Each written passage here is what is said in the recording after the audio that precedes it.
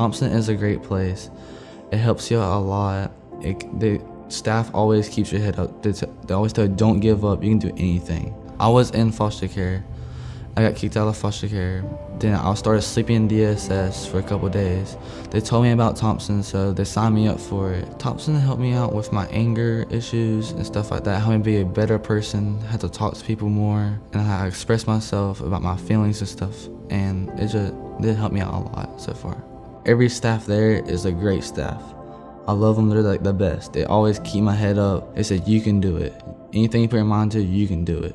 The biggest thing I learned about myself is like how to control my anger, that I'm a good person and like nothing can stop me. If I put my mind to something, I'm gonna do it. Like nothing can stop me from whatever I'm doing. My future is good to go to Job Corps and get my get my mechanics degree, carpenter degree, outdoor fire safety degree, and welding degree.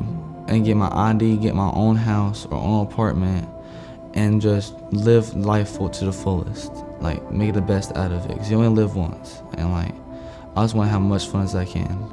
To encourage someone that's in the same situation as me i will tell them to never give up. You got this keep your head up. Don't listen to all the people that said that you wouldn't do it you can do it.